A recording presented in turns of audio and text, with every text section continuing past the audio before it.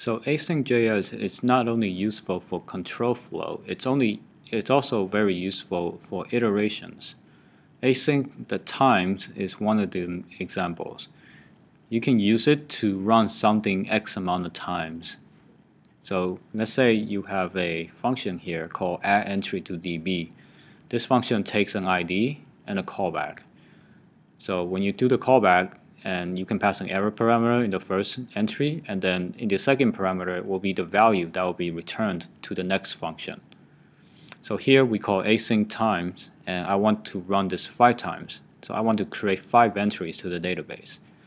And this function, async times, takes a function uh, here, and then the final callback function at the, as the third parameter. For on the second parameter, we'll just call add to entry db, and then n here is the iterator. So at the beginning, it will start at 0, and then 1, and 2, and so on. So here we pass that iterator in and serve it as the ID for the entry. And then we basically call the next function, which will run the next loop in, in the iteration with the value of entry in here.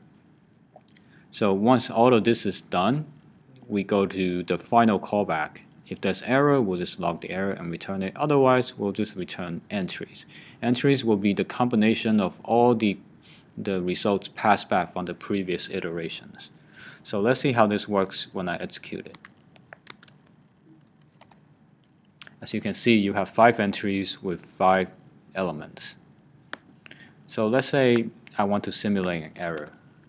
So let's say when it runs to the third uh, iteration, something error, something bad happened, and uh, this gets passed to the next function.